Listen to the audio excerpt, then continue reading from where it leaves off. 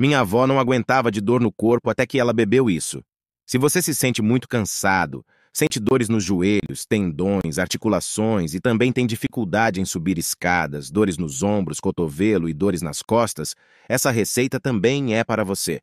A minha avó gostava muito de correr e ultimamente ela sentia dores nas articulações, até que ela conheceu essa receita. E no vídeo de hoje eu quero compartilhar essa solução simples e muito eficaz, que vai te ajudar muito. Assim como ajudou ela também, eu vou te mostrar o passo a passo de como preparar essa receita, que não é apenas simples, também é muito econômica. Mas antes, me conta aqui embaixo qual é a parte do seu corpo que as dores mais te incomodam. E há quanto tempo você vem sofrendo disso? O principal ingrediente dessa receita é uma semente que muitas pessoas conhecem e que tem propriedades e benefícios incríveis no nosso organismo. E a nossa semente tão especial é a semente de gergelim. A semente de gergelim atua como um pequeno coquetel para os nossos ossos. São fontes de zinco, cálcio e fósforo. E uma porção dessa semente contém mais cálcio que um copo de leite de vaca.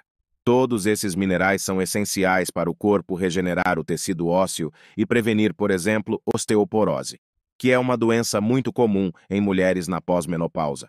E mesmo com tantos benefícios, o gergelim não é recomendado para pessoas que sofrem com colite inflamatória intestinal ou diverticulite, porque a semente do gergelim é rica em fibras, o que aumenta o bolo alimentar nos movimentos intestinais.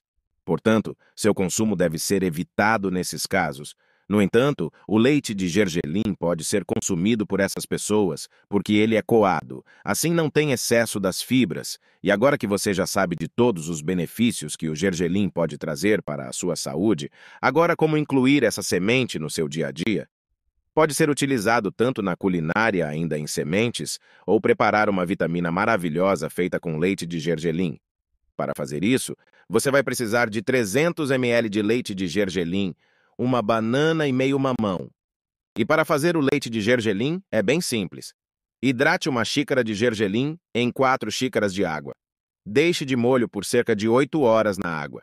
Em seguida, bata a semente que você deixou de molho no liquidificador com 300 ml de água filtrada. Após bater, é só coar e reservar. Agora descasque a banana, um mamão e corte em pequenos pedaços. Na sequência, leve tudo para o liquidificador e bata por 3 minutos. Consuma um copo dessa bebida pela manhã uma vez por dia.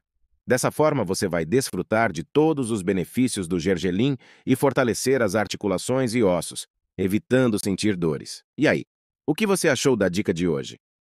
Me diga aqui nos comentários de qual cidade você está assistindo.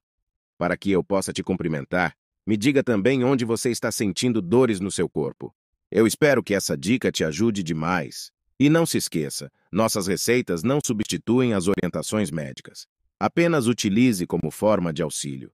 E o vídeo de hoje foi esse. Espero muito que tenham gostado.